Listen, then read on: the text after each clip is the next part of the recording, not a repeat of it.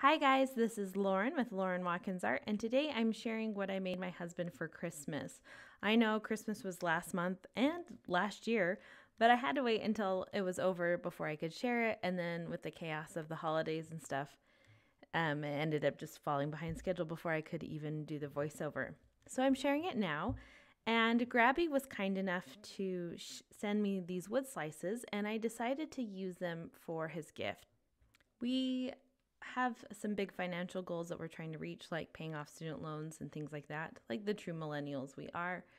And so we said uh, we decided that we weren't really going to spend very much on presents for each other, but I wanted to do something special. And over the years, we have collected all kinds of ornaments from different places we've lived and vacations we've gone to. Um, if we're looking for like souvenir from a vacation, we usually try to find something that can be used as a ornament on our Christmas tree. And that inspired me to paint some ornaments for our tree that represent kind of our marriage and our marriage story. So when the package arrived from Grabie, I primed the wood slices with some clear gesso and let that dry completely and then I sketched out the shapes of whatever I was painting with a number two pencil, and then I started painting with my acrylic paints. Um, I would really recommend priming your surface. Um, if you just paint on raw wood, your colors are going to really absorb into the wood. It's going to make the colors be more affected. They're not going to stay true to what they're supposed to look like. Um, they won't blend as well things like that. So you really want to prime the surface. You don't have to use a clear gesso like I did. That's just all I had on hand. But the gesso just created a little bit of tooth for the paint to stick to, but wasn't too rough. These wood slices were also sanded to a really, really smooth texture, which I appreciated because I've bought wood slices from Hobby Lobby and Michaels in the past. And sometimes they are really, really roughly cut, and so they need to be sanded and you don't want to take that extra step, or at least I don't, um, before I paint. So I didn't have to sand these. I didn't have to do any other prep work other than adding the primer, which was fantastic. I also like that they didn't send too small of wood slices because I've bought like mixed bags of wood slices uh, and some of them are so tiny that you can't hardly paint anything on them. So there was variation in size with these, but they all were a reasonable size that you could use for ornaments. I did purchase a few other wood slices to go with this project that were just a little bit bigger, and you'll see them in a little bit. But that was just because I needed something quite large for what I was painting. But if you want to check out these wood slices, if you're interested in, in trying this project on your own or wanting to do some like Valentine's tags or something like that, you can check out the link in my description box. And if you want to use my discount code, it is Lauren15, and that will get you 15% off. Again, this isn't sponsored by Grabie, they just sent me these supplies, and I really like them. And if you want to try them out, you are welcome to. So, if you haven't guessed what I'm painting yet, it is Delicate Arch, which is found in Arches National Park in Utah. And this was actually where my husband and I went on our very first vacation that we planned 100% on our own.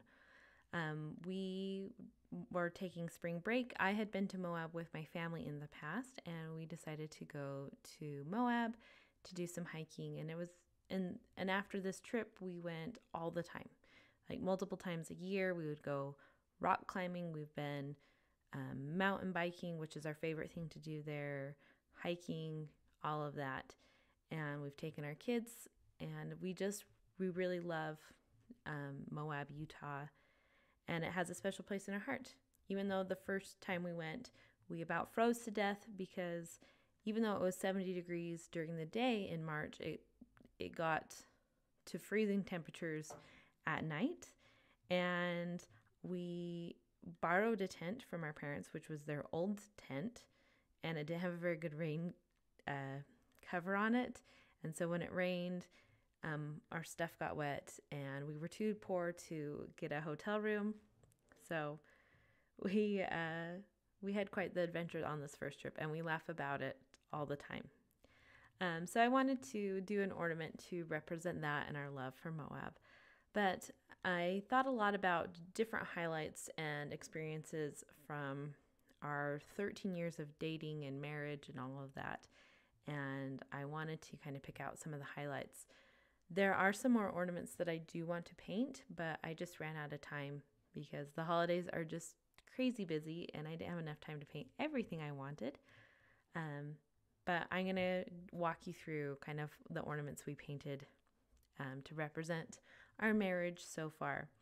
Um, one thing that was interesting with working with acrylics, which I don't do very often, is I realized I had to remember how um, transparent some of these colors could be, especially like some of the reds and the oranges.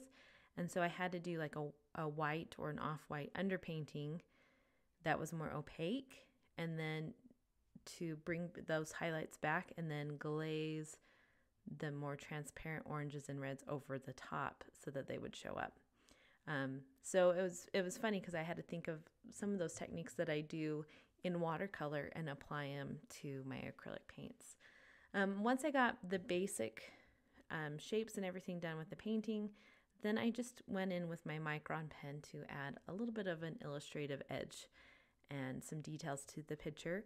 Since these paintings are so small, and I am not very good at painting super small with acrylic paints because they are not my normal medium, I um, realized that I needed to kind of lean into that illustrative style. But I was really happy with the painting, and it brought back lots of lots of memories, and was really fun to do. Um, I find that with acrylic paints, I do like working small like this. Um, probably because the paint doesn't dry too quickly on me. Um, that's my biggest frustration with acrylic paints is how quickly they dry. So I found that this was really helpful. And I actually, my favorite color when working on this was a color that was like an off white. It wasn't a pure white. So that was the finished ornament. And then here are kind of the pictures from our first stage. So we went to Utah State. That's where we met. And that's where we got our undergrad degrees. And then the first month we were dating, um, I got tonsillitis twice. And my family joked that I got it from kissing him too much and called him the germ. So that was his nickname is the germ. And then we worked as ski and snowboard instructors while we were dating. And so that's a picture from the resort that we worked at. And then while we were working in the snow, we would make snowmen all the time. And so my husband made kissing snowmen for when he proposed. And so I did some kissing snowmen to remember to remember when he proposed to us. A picture of where we got married, which is the LDS temple in Logan, Utah. And then our trip to Moab, which I showed you earlier, and then a pink bow to represent kind of this last stage of life. We had our daughter during our last year of our undergrad degrees and had to take her to classes during that time. And here is just a close up of those snowmen. So after we graduated, we moved to Washington. So I drew an apple. It's kind of cliche to draw for the state of Washington, but it's very fitting. They had a lot of apples there.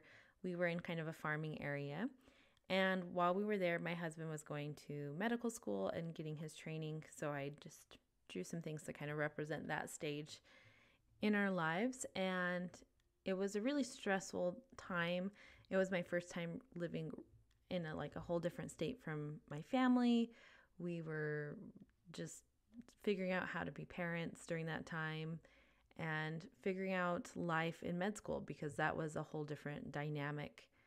Um, but it was really good, and there was a lot of great things that happened, and we're really grateful for the people that we met during that time.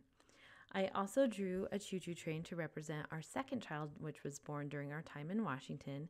He loved choo choo trains, and would call him his choo choos, and so I drew that to represent him. After our time in Washington, we moved to Idaho. And I'd love to say we loved our time in Idaho, but it was just a really hard time in our lives. But we rented this little tiny house that was kind of this yellow color. And I'll have to say that the picture I drew of it is a lot cuter than what it looked like in real life.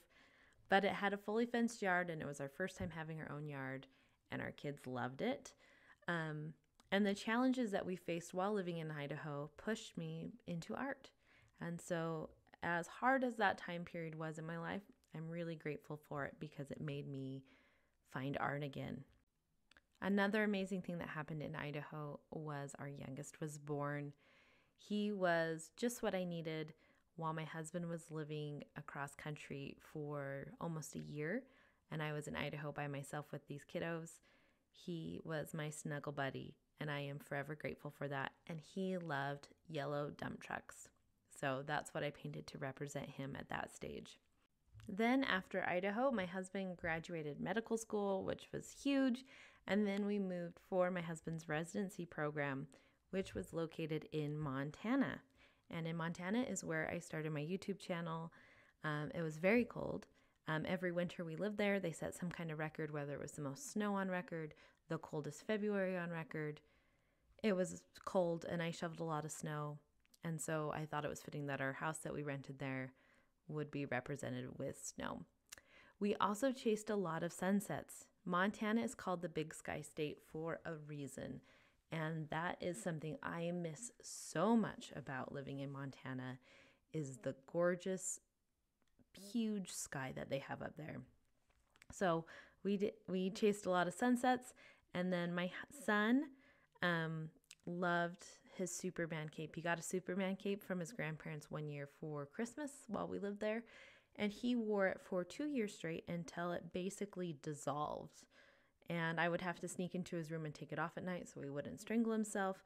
But we have so many pictures of him riding a tricycle with his cape flapping behind him. After Montana, we moved to Utah. Like peak pandemic, everything was still on lockdown. I do not recommend moving to a new state during that time frame because it's a little chaotic. But we moved and we bought a house and we remodeled it. I did a recent video on how I remodeled my art studio. Um, and we live close to the mountains, and I drew a picture to represent um, a view from the canyon that we live next to and all the rock climbing and hiking and snowboarding and stuff that we've been able to do up there and family time because now that my husband isn't in school and isn't a permanent student, we actually get to spend quite a bit of family time together. And then I drew some makeup to represent my daughter. She is very artistic and she loves doing like makeup and face painting. So her brothers will regularly come upstairs and she'll have painted them to look like a wolf or some kind of creature, and they have a lot of fun with that.